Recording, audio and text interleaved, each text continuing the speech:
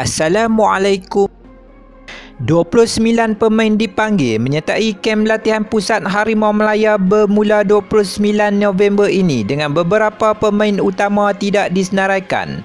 Pemain naturalisasi Sri Pahang, Sergio Aguero dan Lita turut dipanggil untuk memperkuatkan kem negara. Pemain warisan yang berpenggalan di Eropah, Deongku turut dipanggil manakala hanya dua pemain JDT disenaraikan iaitu Safawi Rashid dan Ramadan Saifullah.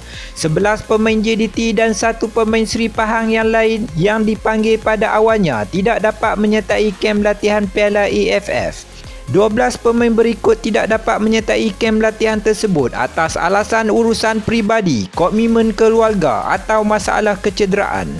Skuad Harimau Melaya akan turun beraksi untuk perlawanan antarabangsa Tier 1 menentang Kemboja pada 9 Disember manakala menentang Maldives pada 14 Disember 2022. Seterusnya, panggung akan menamakan senarai akhir 23 pemain ke Piala Mitsubishi Electric AFF 2022 yang mana kempen bagi kumpulan B tanpa 12 pemain yang tidak dapat menyertai pasukan pada kali ini. Inilah barisan pemain terbaik yang dimiliki untuk menghadapi Piala AFF 2022 yang mana ia peluang kepada mereka membuktikan kemampuan masing-masing selain menjadi platform untuk panggung mempersiapkan pasukan menjelang kelayakan Piala Dunia 2026 bermula tahun depan dan juga Piala Asia 2023 di Qatar nanti.